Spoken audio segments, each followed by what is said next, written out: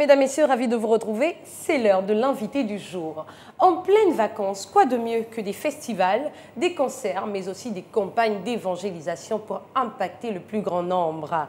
Comme chaque année depuis près de cinq ans, à l'occasion de son programme annuel, l'Église La Restauration des Familles organise le programme dénommé EFATA.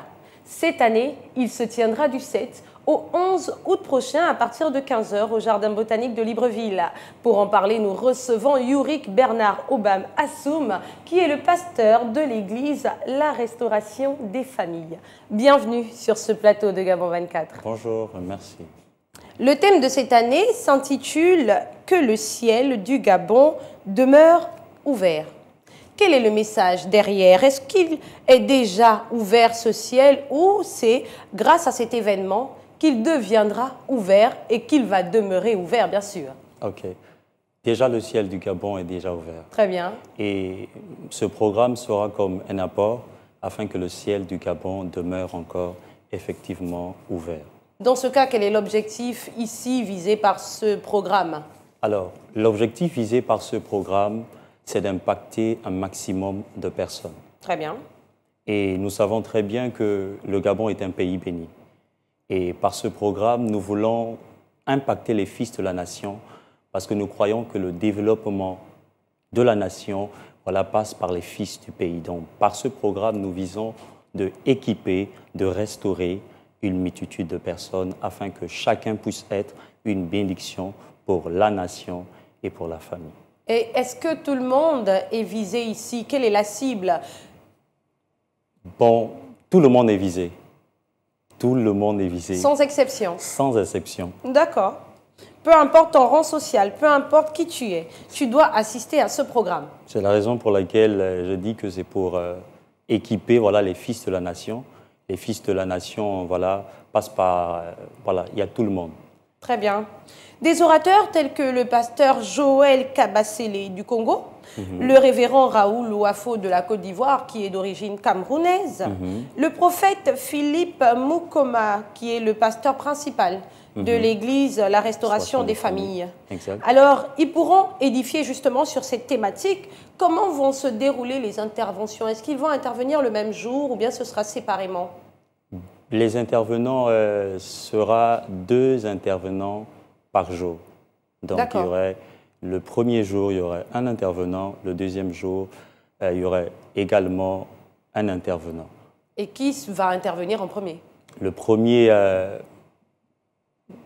peut être une surprise. Même une surprise? Ouais. D'accord. Bon, généralement, on sait que celui qui invite est celui qui ouvre. Exactement. Ben voilà, dites-le. Dans la même foulée, est-ce qu'il est possible de revenir sur le programme justement de ces cinq jours? Mhm. Qu'est-ce qui va être fait exactement, concrètement? Est-ce qu'il y aura des chants, euh, la prédication, d'accord, mais est-ce qu'on va seulement rester sur cette thématique? Ou on va aborder d'autres sous-thèmes peut-être? Ok, le grand thème, c'est que le ciel du Gabon demeure ouvert. Et dans ce thème, il y aura des, des thématiques qui seront abordées par des hommes de Dieu. Et nous n'allons pas simplement rester euh, autour de la parole de Dieu, mais nous aurons un merveilleux concert qui va se dérouler voilà, le 11, le dernier jour, et ça va être explosif. Justement, parlons de ce méga concert avec ces artistes internationaux. J'ai vu sur euh, l'affiche. Est-ce qu'en dehors de Arnaud Zamba, qui est chantre gabonais, il y aura d'autres chantres gabonais qui seront mis en avant? Hmm, oui, également, il y aurait beaucoup de chantres qui sont ici, issus de notre pays. Très bien. Mais qui seront comme euh, des invités surprises. D'accord. Du coup, je ne peux pas vous demander leur nom hmm, Non. il s'agit d'un programme qui se tiendra du 7 au 11 août 2024, je le rappelle. Dites-nous quelle est la particularité de cet événement au Gabon, alors qu'on sait qu'en ce moment, il y a des hommes de Dieu qui vont et viennent sur le territoire gabonais. Ok, exactement. Euh, mais la particularité de, ce programme, voilà, c'est que chaque homme porte en lui euh, une huile spéciale. Chaque homme porte en lui un message. Et spécifiquement, le programme EFATA a des hommes qui ont des messages assez spécifiques pour des personnes. Et ce programme va être un grand programme et nous voulons que beaucoup de personnes voilà, y participent. Et vous, en tant que pasteur, quel est votre regard de la venue de ces hommes de Dieu au Gabon? Je dirais que c'est un message que Dieu est en train d'adresser à notre nation. Notre nation, euh, comme je le disais tantôt, est un pays béni. Voilà, et l'arrivée de ces hommes de Dieu peut être un moyen par lequel le Seigneur voilà, va propulser davantage notre nation dans les hauteurs. La même semaine, d'autres serviteurs de Dieu venus de l'étranger seront sur le territoire gabonais.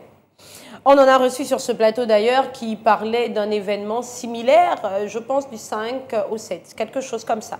Alors dites-nous pourquoi moi, l'INSEE, je devrais venir à votre événement et pas à celui d'un autre? Bon, venir à notre programme, euh, c'est parce que vous avez un besoin particulier. D'accord. Comme j'étais en train de le dire tantôt, euh, nous n'avons pas tous les mêmes besoins mais chaque homme a un message pour chaque besoin principal.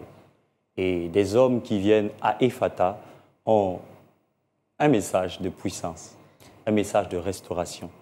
Et non dire que les autres prédicateurs n'ont pas des messages de restauration ou de puissance, mais simplement que ce programme est particulier. Parce qu'il n'y aurait pas simplement des prédications, il y aurait simplement des hommes de Dieu qui sont équipés pas seulement de la parole simplement de Dieu, mais il y a également des leaders, des, des, PDG d'entreprises qui seront là et vont nous apporter voilà, leur atout. Voilà, leur expertise aussi.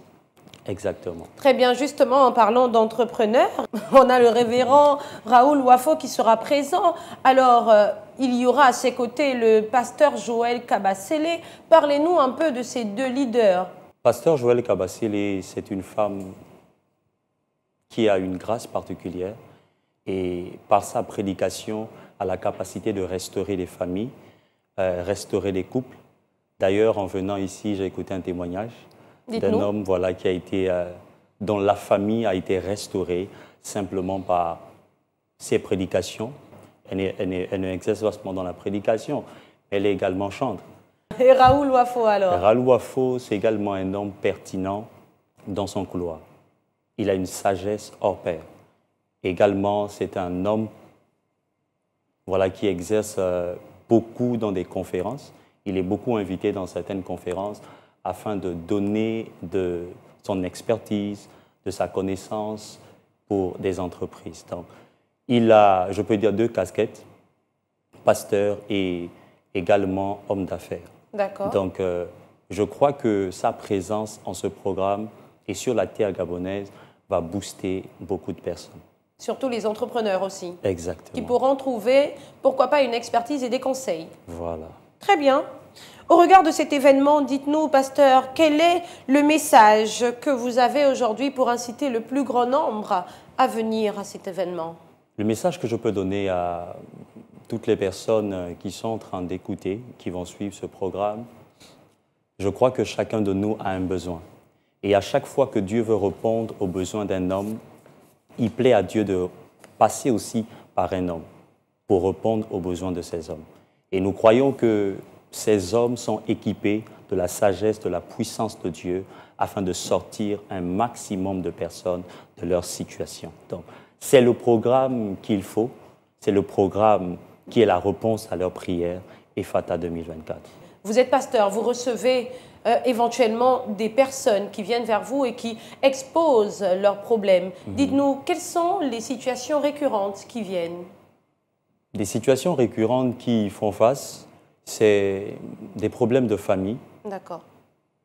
Des problèmes de famille, de délivrance, également. Euh, et je crois que ce sont ces deux ces deux voilà, euh, principaux problèmes qui, qui, font face à chaque fois lorsque on entretient beaucoup de personnes. Et nous croyons que s'ils viennent, Jésus va les répondre. C'est très bien. EFATA 2024, il y a eu EFATA 2023, 2022, 2021. Parlez-nous un peu de ces différentes éditions, comment ça s'est passé, mais aussi est-ce que tous les objectifs fixés à cette époque-là ont été mhm. atteints? Exactement. Euh, EFATA 2023, c'était exceptionnel. Vraiment, c'était exceptionnel. Nous avons, euh, nous avons eu également Pasteur Joël Cabassile qui était là, qui est notre, euh, qui nous est partagé parole autour des couples, autour de, des familles, et ça a été vraiment incroyable. Et nous avons atteint notre objectif parce que nous voulons à ce que les cœurs des personnes puissent revenir à Dieu. Nous avons atteint notre, notre objectif parce que nous voulons que la plupart des personnes donnent leur cœur à Dieu. Et le but du programme, ce n'était pas simplement de remplir la salle, mais c'était de conduire des personnes vers Dieu. Et durant ces différents programmes, Jésus a été glorifié. Très bien. Alors pour conclure, peut-être un mot d'encouragement à tous ces chrétiens qui nous suivent et pourquoi pas à ceux qui ont juste besoin d'écouter une parole. Ce que je peux dire à ces personnes, c'est que Jésus les aime et quelle que soit la situation par laquelle ils sont en train de traverser, Jésus a la réponse à toutes les questions. Mais le fait est que, pasteur, cette phrase revient tout, le temps, mhm. elle revient toujours, mais il se trouve qu'il y en a qui n'y croient plus. Mhm. Qu'est-ce que vous avez à dire par rapport à ça? J'aimerais dire à ces personnes, euh, il est possible qu'on dise que Jésus est capable de tout, mais le problème n'est pas simplement ce qu'on dit, mais leur foi également. Il faut que la parole dite par des pasteurs ou par des hommes de Dieu trouve également la foi dans les cœurs de ces personnes. Donc ce que je peux dire à ces personnes, c'est de se relever. Le combat n'est pas facile, le combat sera compliqué. Lorsque Jésus nous appelle, il ne dit pas que tout sera facile. Au contraire, il y aura des hauts, il y aura des bas. Voilà pourquoi la Bible dit que quand je traverse la vallée de l'ombre de la mort, ta houlette et ton bâton me rassurent. Donc il est possible de traverser une vallée, mais la vallée n'est pas la destination, c'est rien que la traversée. Donc courage à eux parce que Jésus est sur le point de faire quelque chose. Et là, c'est un message qui s'adresse non seulement aux chrétiens, mais également à ceux qui ne le sont pas et qui, on espère, par EFATA 2024, deviendront chrétiens. Également, exactement. Voilà qui met un terme à cette émission. C'était un plaisir de vous avoir sur ce plateau. Vous revenez quand vous voulez. Ok, d'accord. Merci beaucoup. voilà, c'est la fin de ce numéro. N'oubliez pas, l'Église, la restauration des familles, organise du 7 au 11 août prochain, à partir de 15h, le programme dénommé EFATA 2024 au Jardin botanique de Libreville, sous le thème que le ciel du Gabon demeure ouvert. Yurik Bernard Obam Assoum en parlait sur ce plateau de l'invité du jour, car il était justement cet invité. Je rappelle qu'il est le pasteur de l'église La Restauration des Familles. Surtout, soyez nombreux à vous y rendre parce qu'il vous attend là-bas. Nous, on se dit à très vite sur ce même plateau. Merci à tous pour votre fidélité et bonne suite au programme sur Gabon 24.